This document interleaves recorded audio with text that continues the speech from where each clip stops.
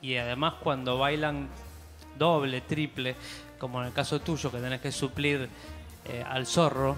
Perdón, ba- bailó el zorro también. Sí, sí, sí. Me gustó mucho Mati la apuesta, eh, estuvo bien caracterizado, Luciano también, pero casi prende fuego el estudio con la capa. Sí, sí, estuvo, sea- estuvo, estuvo cerca. Esto tiró la capa para el lado donde estaba la estufa. Va, cosa Donde sale el fuego tiras la capa, o sea, ya arrancamos. No, no, es increíble porque la gente de Mega Efectos me dijo, tené cuidado, muchas gracias, pero casi me quemo, casi me puedo prender fuego yo y No, él. no, si usted estaba como a 15 metros, allá al fondo era. Pero yo sentí el calor, sentía todo el calor. Siempre que pasan cosas, siempre él se siente como, oh, tremendo, no le pasa nada a él. No, casi incendia el estudio.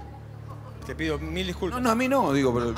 A los bomberos. Mirá que es grande el estudio. Sí, sí, pero y yo- quemarlo ahora que estamos cerca de la final, quedan 11 programas. No, no, no, Nos obvio. arruinás el año a todos.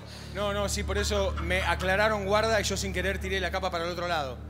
Bueno. Pero mirá todo el espacio que hay. Por eso lo tiraste a una bailarina, Sí, para, sí. para Soy- otro costado. porque- A Dame Luz, que está ahí al pedo. No, No, no. sé, alguien. No, eh, porque yo soy cuidadoso con el vestuario. Entonces traté de apoyarlo lo mejor posible. Bueno, y lo apoyaste en el fuego. Pobre. Qué, qué premonitorio que se dé Denis Dumas esta noche también. ¿Por qué?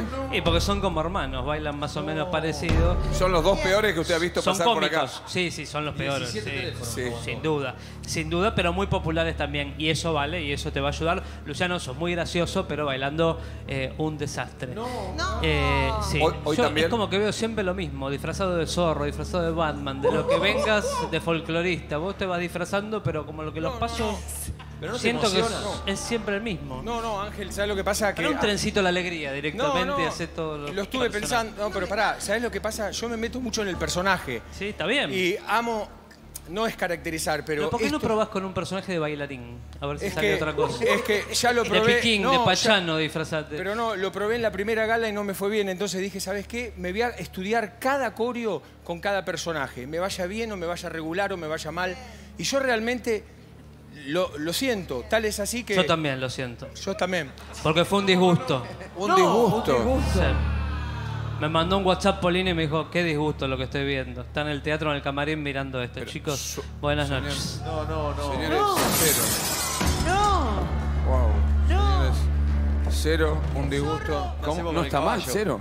¿Cómo? No está mal, dijo. No, no, cuando dice disgusto a veces me imagino menos dos. o No, sea. cero también.